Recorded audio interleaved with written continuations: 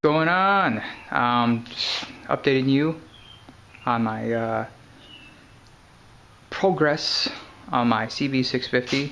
As you see here, I have the motor suspended from these uh, two 2x4s and this plank across here. That The 2x4s are not just holding it there, there's actually a bolt that goes up through 3 quarters inch plywood with, with a metal plate. And then these are just here just for if case something else would fail. But um, I just painted it up, uh, kind of a metallic silver, some flake. I polished up the cover right here. This was actually painted black and sanded that down, made it look sexy. Come back around over here. Just painted the uh, front oil filter assembly here.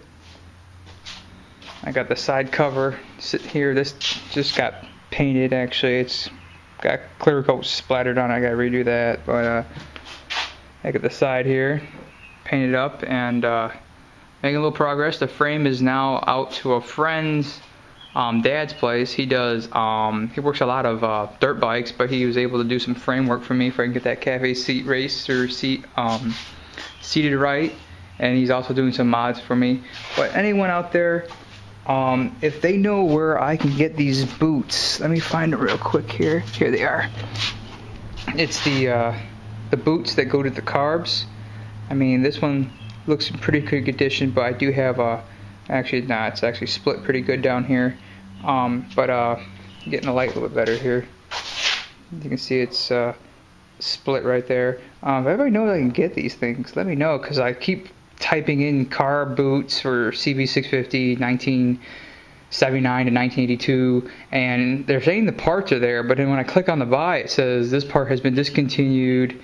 But give me a part number, and I'm I'm I'm cutting and pasting the part number, and I'm just finding other people who had on eBay which are just as bad condition, or to another place that says this part has been discontinued um, and that's like a Honda site or uh, someone else who may have carried it aftermarket one time. But let me know if you can find these carb boots somewhere. Let me know this uh, PM me or just write something in the description there for I can figure this out. You know, I, mean, a couple of them are salvageable, but there's one that's actually ripped all across here, and it was actually duct tape when I bought it. So let me know what's up with that too. Um, I got new carb, uh, not carb, but uh, the clutch out here. Got a new clutch uh, disc ordered for it.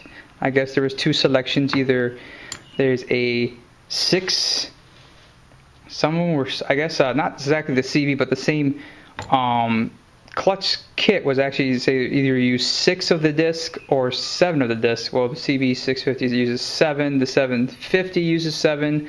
I think the five 500 or 550 uses six, but it's the same kit. So I got that order that's coming in, and I'll be uh, I'll be showing you how to take it out and uh, install it back in. You know, at least my way. I don't know if it's the right way, but for those who are do-it-yourselfers, at least it will help you a little bit, and that will be coming up in a little bit.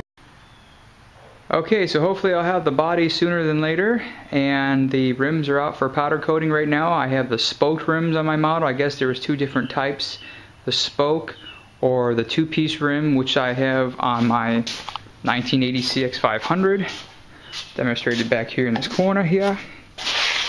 As you see here, zoom out a little bit. The spokes. But, uh, well, anyway, I should have all that stuff back into, back in within a little bit here and have that redone. And until then, ta-ta and take care.